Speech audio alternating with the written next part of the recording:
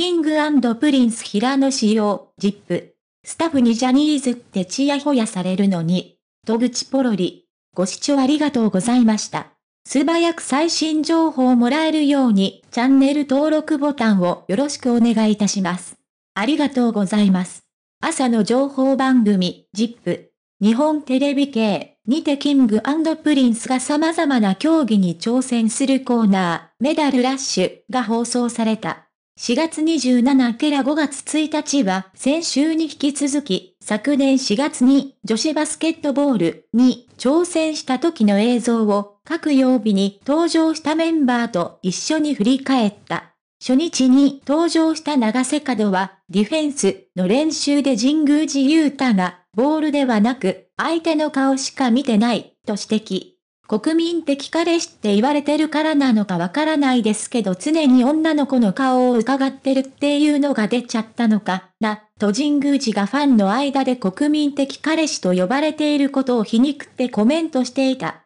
一方の神宮寺は、女子バスケット選手と1対1でディフェンスとオフェンスの練習の際、長瀬が大げさにファウルを受けたふりをしていた VTR を見て、女子の前でこれは恥ずかしい、とばっさり。とはいえ、自分を含め他のメンバーのプレーもひどいありさまで、ダサい姿を見せちゃったっていうのはすごいショックですね、と反省していた。また、いつもは自信満々の高橋山も自分の VTR を見て、みんなが見て、この呼吸技下手そうだな、っていう。俯瞰から自分を見てみると本当にセンスがない子だなって思います。ねと珍しく、反省。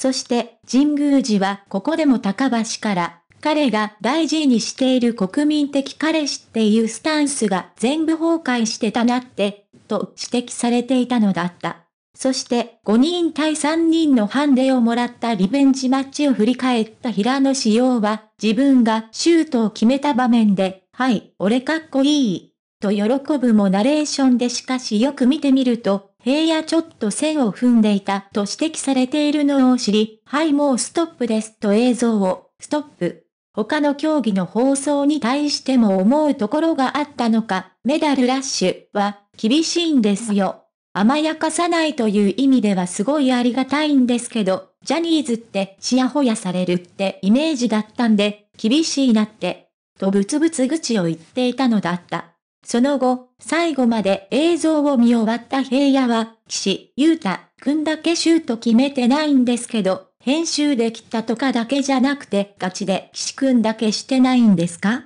と岸の活躍がなかったことに気がついた様子。平野が6点、長瀬神宮寺高橋が4点ずつを決めたのに対し、岸だけ得点を決められていなかったことが判明し、平野は、でもこれが岸くんの実力です、とまとめていた。そんな一切活躍の場面がなかった岸だが、平野のパスから高橋がシュートを決めた映像を見て、ちょっと待ってください。これ山決めてますけど、もう一回見てもらっていいですか？とスタッフに巻き戻しを要請。そして、ほら、見てください。僕がパスしてる、と平野にパスを回したのは自分だと自慢げに語り、僕のパスにもフォーカスを当てて欲しかった、と愚痴を言っていたのであった。この放送に、岸くんだけシュートしてないの気づいてたけど、言わないであげて笑い、グループに一人は岸くんみたいな人が必要だと私は思うよ。